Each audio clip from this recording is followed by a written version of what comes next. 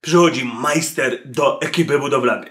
Słuchajcie, ja rozumiem, że księga ulicy mówi u siebie rób jak u siebie, a u obcego na odpierdol. Wiem, że Cialis nawet śpiewa, że albo ty klienta, albo klient ciebie i że fachowiec zawsze frajera i tak dalej, i tak dalej. Słuchajcie, ja to wszystko wiem.